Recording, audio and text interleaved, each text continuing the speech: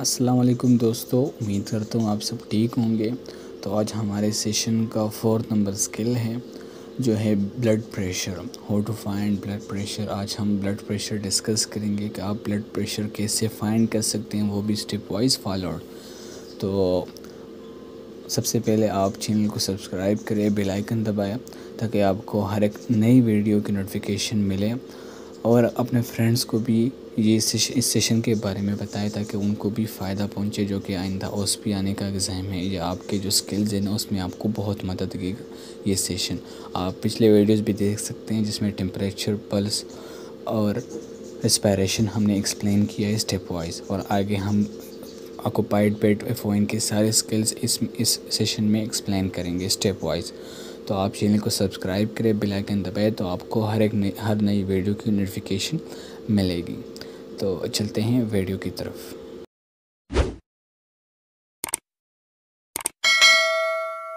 जी तो गाइस आज हम एक्सप्लेन करने वाले हैं ब्लड प्रेशर सबसे पहले हम ब्लड प्रेशर की डेफिनेशन जान लेते हैं। Blood pressure refers to the force of blood pushing against the walls of the arteries every time the heart beats जब हार्ट बीट होता है ना तो जो आर्टरीज़ के वाल पे आर्टरीज़ के वाल के अगेंस्ट जो ब्लड पर प्रेशर होता है, जो फोर्स होता है, उसको हम ब्लड प्रेशर कहते हैं।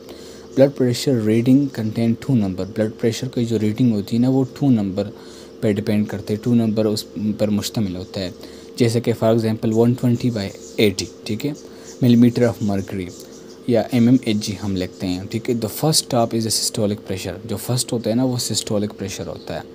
दूसरा डायस्टोलिक होता है। Systolic the highest number as it is the pressure when the heart contract जब हार्ट कंट्रैक्ट होता है ना तो ये highest number of blood pressure देता है जिसको हम सिस्टोलिक प्रेशर कहते हैं।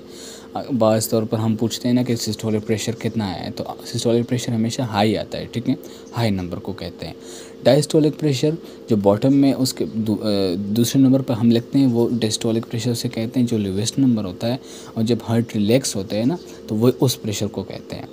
अच्छा पर्पज इसके क्या है to obtain baseline measure of arterial pressure हम आर्टीरियल प्रेशर का बेस लाइन मेजर ऑप्टेन करते हैं to monitor response of the circulatory system for various disease condition and therapies हम सर्कुलेटरी सिस्टम इससे भी फॉलो कर डिटरमाइन कर सकते हैं, ठीक है? Blood pressure reading consist of two types of pressure हम two types of pressure systolic and diastolic वो मैंने आपको समझा दिया, जो हाईएस्ट और लोअर होता है, ठीक है? अच्छा category of blood pressure category क्या होता है? एक होती है एलिवेटेड बीपी एक होती है हाइपरटेंशन एक होती है हाइपरटेंशन स्टेज टू एक stage one and hypertensive crisis ठीक है? एलिवेटेड बीपी मतलब reading that consistently range from 120 to 129 systolic and less than 80 M M G diastolic ठीक है? जो कंसिस्टेंटली मतलब लगातार वो 120 टू 129 के दरमियान होती है, जो 130 से अबोव नहीं होती है, ठीक है? उसको हम सिंपली एलिवेटेड बीपी कहते हैं, ठीक है? हाइपरटेंशन स्टेज वन जब रेटिंग कंसिस्टेंटली 130 टू 139 होती है, ठीक है? उसको हम क्या कहते हैं? हाइपरटेंशन और उसका डायस्टोलिक 80 टू 89 होती है। हाइपरटेंशन स्टेज टू जो 140 and one one forty by ninety हो, ठीक है? या इससे हाइयर हो तो उसको हम हाइपरटेंशन स्टेज टू कहते हैं। और हाइपरटेंसिव क्राइसिस कहते हैं that suddenly exceeds one one one eighty by one twenty and remains high when measured a second time after 5 minutes. This stage of high blood pressure requires immediate medical attention. अच्छा कोई patient हो उसका suddenly 180 by 120 BP आ जाए और आप पाँच minute बाद उसकी बीपी चेक करें, तब भी वो वही हो, ठीक है तो इसका मतलब है ये हाइपरटेंशन क्राइसिस है, ठीक है ये इसका इमीडिएट मेडिकल अटेंशन लाजमी है इक्विपमेंट्स क्या हैं? इक्विपमेंट्स इसके स्पेगोमानोमीटर हैं BP cuff stethoscope spirit swabs flow sheet and black pen ठीक है? अच्छा इसके बाद हम एक्सप्लेन करते हैं प्रोसीजर प्रोसीजर इसका क्या है?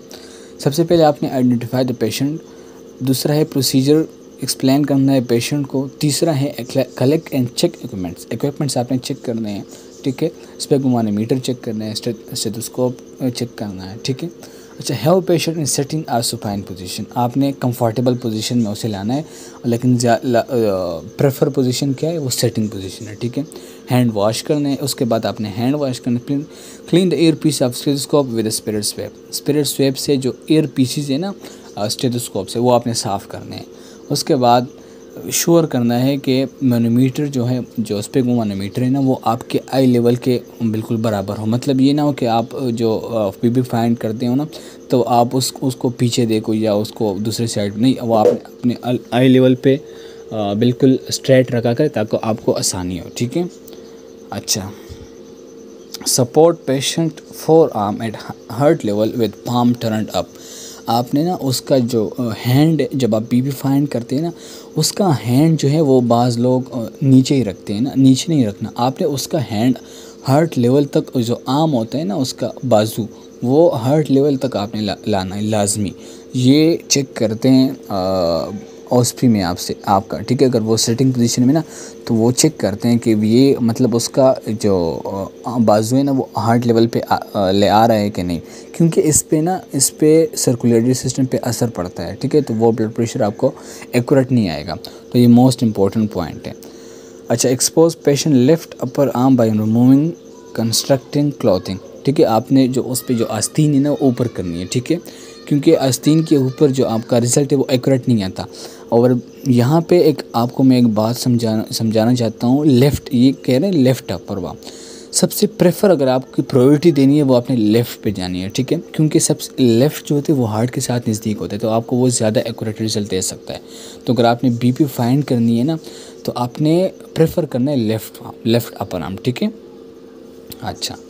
इसके बाद है wrap the deflated cuff evenly around the upper arm by placing the lower edge of the cuff 2.5 centimetre above the antecubital space अच्छा ये इंपॉर्टेंट कुछ पॉइंट्स हैं। आपने ना वो जो आ, कफ होती है ना वो पूरा डिफ्लेट करना ताकि उसमें कोई हवा वगैरह नहीं हो ठीक है?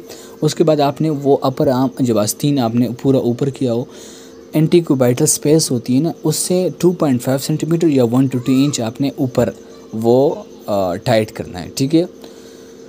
वो ये स्पेस आपने याद रखना है, ये स्पेस पूछते हैं, ठीक है? In the centre of the bladder of apply directly over the medical aspect of the upper arm अच्छा वो जो सेंटर होते हैं जो दो पाइप्स उस, वहाँ से होते हैं तो वो पाइप्स ऊपर आना चाहिए ना? और वो पाइप्स जो है, वो दोनों जो इंटिक्यूबाइटल स्पेस है ना, उनके सेंटर पे आने चाहिए, ठीक है? ये आपने मस्ट याद रखना है। ब्रेकल आर्टरी जो है, वो आपका मतलब एक्सपोज होना चाहिए, इसलिए हम 2.5 सेंटीमीटर ऊपर लेते हैं, ठीक है? Place the stethoscope in your ears and check the diaphragm by tapping ये सबसे इम्पोर्टेंट पॉइंट है। आपने डायफ्राम चेक करना है टैपिंग के थ्रू कि ये वर्क करता है कि नहीं? आपने जब एयर पीसीज अपने एयर में डाली ना तो उसके बाद डायफ्राम आपने चेक करना है कि ये वर्क करता है कि नहीं। ये बाज़ लोग भूल जाते हैं या कसदन नहीं करते कि बस ये सही होगा ना, ये स्टेप पे आपने फॉलो करना है, ठीक है? अच्छा make sure to unlock the mercury column before inflating ये जो आजकल तो नहीं होते, लेकिन पुराने जो मरकरी वाले जो स्पिगमोमानोमीटर्स हैं ना, उसमें मरकरी लॉक होती है, ठीक है? तो आपने इंश्योर करना है कि वो अनलॉक अनलॉक हो, ठीक है? उसके बाद palpate the brachial radial pulse with one hand close the valve with the inflate the cuff noting the level of mercury where pulse disappears अच्छा आपने ये एक ऐसा पॉइंट है ना, अगर आप ना भी करें तो ठीक है, लेकिन अगर आप करें तो आप ज़्यादा मतलब प्रोफेशनल लगोगे। इसमें क्या है? इसमें ये है कि आपने एक हैंड आपने रेडियल पल्स पे रखना है, ठीक है? रेडियल पल्स पे। रेडियल पल्स आसानी से पलपेट होता है इसी वजह से। दूसरे हैंड से आपने जो बल्ब होती है ना मतलब इन्फ्लेटिंग आपने स्टार्ट करनी है।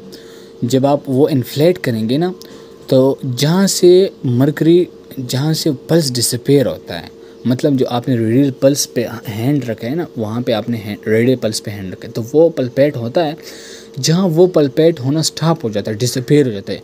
तो तब आपने वहाँ मरकरी नोट करनी है कि मरकरी के किस पॉइंट पे रेडियल पल्स का पलपेट होना स्टॉप हो गया है, ठीक है? फ़र्ज़ करें मैं आपको समझाता हूँ, आपने रेडियल पल्स नो एक्सेस कर लिया, आपने वहाँ पे हाथ रखा है, जब वो पलपेट हो रहा है, आपने इन्फ्लेट इन्फ्लेट स्टार्ट कर दिया। आपने इन्फ्लेट स्टार्ट किया और वन थर्टी पे वन थर्टी पे आपका जो रेडियल पल्स है ना, वो डिसपेयर हुआ पेशेंट का। आप उसके बाद रेडियल पल्स फाइंड नहीं कर पाते। तो इसका मतलब है कि इसका सिस्टोलिक प्रेशर क्या है? वन थर्टी है। लेकिन आपने क्या करना है? ये आपने इसलिए नोट करना है ताकि आपको सही एक्यूरेट रिज़ल्ट आ जाए। जब आप नोट कर ले कि 130 पे रेडल पल्स डिसपेयर हुआ तो फिर आप रेडल पल्स छोड़ देंगे। और आप उस 130 से मतलब जिस पॉइंट पे मर्क्यूरी डिसपेयर होता है ना, उससे 30 डिग्री ऊपर जाना है। जब आप मतलब 130 पे आपका 130 पे पेशेंट का radial pulse radial pulse disappear हुआ ना तो आपने 160 तक जाना है, ठीक है? आपने 160 तक इन्फ्लेट किया, उसके बाद आहिस्ता से बल्ब को, आहिस्ता से बल्ब को ओपन करना है। डिफ्लेट करना है कफ को और मगरी को नोट करना है, ठीक है? और आपने दो बार करना है, ठीक है? ये नहीं कि आपने एक बार डिफ्लेट कर दिया और बस आपने नोट, नहीं, दो बार आपने सही से रीडिंग लेनी है, ठीक है? अच्छा ये point, deflate the cuff quickly and wait wait for thirty second, tighten the valve. ये कहते हैं कि आपने नोट कर लिया ना मर्करी लेवल फिर आपने डिफ्लेट कर लिया और दोबारा जब आप रिफ्लेट कर लेंगे मतलब आपने जब इन्फ्लेट करना करने तो आपने पहले ब्रेकिल आर्टरी लोकेट करनी है कि आपने फाइंड करनी है, उसके, उस पर डायफ्राम रखना है, और फिर इन्फ्लेट स्टार्ट करना है। जब आप इन्फ्लेट स्टार्ट करेंगे ना तो नीचे लेके inflate the cuff to thirty M M H G above where the pulse disappear जब आपने नोट किया था ना कि मर्करी लीवर आपने नोट किया था कि जहाँ पे पल्स डिसअपेयर हुआ है, मैंने आपको एग्जांपल दिया कि 130 तो आपने 130 से 30 एम एम एच जी ऊपर जाना है। मतलब आपने 160 तक जाना है, ठीक है? अगर वन 120 पे डिसअपेयर होते तो आपने 150 तक जाना है।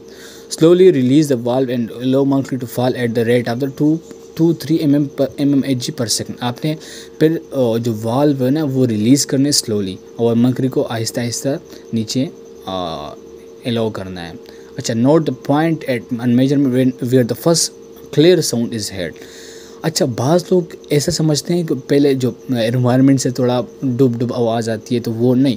सबसे पहले आपने क्लियर साउंड आपने सुननी है, ठीक है? अगर ऐसा नहीं करना बाद लोग ये गलती कर लेते हैं कि अगर 120 पे वो वो वन टेन वन टेन तक आ जाते हैं और सोचते हैं कि नहीं, ये तो नहीं, आप फिर दोबारा इन्फ्लेक्ट नहीं, आपने 80 तक लास्ट आना है। देखिए, हो भी सकता है कि उसका जो बी बीपी वो बहुत ज़्यादा लो हो, ठीक है? ये भी हो सकता है कि उसका बीपी बहुत ज़्यादा लो हो। तो आपने 80 तक लास्ट आना है। जब आप क्लियर साउंड फाइंड करेंगे ना क्लियर साउंड सुनेंगे, तब आपने वहाँ से नोटिंग स्टार्ट कर दिया, ठीक है? जो फ़र्स्ट साउंड आपने नोट किया ना तो उसको हम सिस्टोलिक प्रेशर कहते हैं। फ़र्स्ट साउंड जब आपने फ़र्स्ट साउंड नोट किया मतलब आपने 120 पे फ़र्स्ट साउंड आपको, आपने सुना तो वो सिस्टोलिक प्रेशर है। उसके बाद आपने कंटिन्यू रखना है ग्रेजुअली मतलब स्लोली डिफ्लेट तो जब जहाँ पे पॉइंट जिस पॉइंट पे जो साउंड होती है ना, वो ख़त्म होती है मतलब बिल्कुल डिसअपेयर होती है, उसके बाद साउंड नहीं आता तो वो पॉइंट आपका डायस्टोलिक प्रेशर है, ठीक है? एक है सिस्टोलिक दूसरा डायस्टोलिक सिस्टोलिक पे साउंड स्टार्ट होता है डायस्टोलिक पे ख़त्म होता है, ठीक है? उसके बाद कहते हैं deflate the cuff rapidly and completely removes cuff from patient arm lock mercury column unless measurement must be repeated इसमें कहते हैं कि उसके बाद आपने जो कफ़ होती है ना, वो पूरा डिफ्लेट करना है, उस कफ़ को पेशेंट के आम से निकालना है और मर्करी को दोबारा लॉक करनी है, ठीक है? Assist patient to be comfortable position cover the upper arm आपने पेशेंट को कंफर्टेबल पोजीशन में लाना है और जो आस्तीन है ना, वो आपने मतलब सही वापस अपनी जगह पे लाना है। Inform client of beeping reading आपने पेशेंट को इन्फॉर्म करनी है कि आपकी पेशेंट आपकी बीपी इस तरह है, ठीक है? अच्छा clean the stethoscope spirit swab and return equipments to the appropriate place बाज़ लोग ऐसा करते हैं कि जब बीपी आप बीपी आप नोट करते हैं फाइंड करते हैं ना, उसके बाद सीधा वो वो सब चीज़ें पेशेंट के बेड पे छोड़ देते हैं। नहीं, वो सब चीज़ें आपने अपने अप्रोप्रिएट प्लेस पे ले जाने हैं। स्टेथोस्कोप के जो एयर पीसीज है, वो आप स्पिरिट स्वेप से साफ़ करेंगे। उसके बाद हैंड वॉश कर ले, उसके बाद वो फ्लो शीट पर रिकॉर्ड कर ले, ठीक है? तो इसमें जो जो पॉइंट्स मैंने आपको बताए हैं, वो आप नोट करें। और ये पी आपको हमारे व्हाट्सएप ग्रुप में मिल जाएगा। या आप हमारे व्हाट्सअप नंबर पे भी कांटेक्ट कर सकते हैं। दोनों का लिंक हमने डिस्क्रिप्शन में दिया है, आप जाके वो देख सकते हैं। और आप चैनल को सब्सक्राइब करें बेल आइकन को दबाएँ ताकि आपको हर एक नई वीडियो की नोटिफिकेशन आसानी से मिले। और वीडियो पसंद आ गई हो तो वीडियो को लाइक करें और अपने फ्रेंड्स के साथ शेयर करें। Thank you so much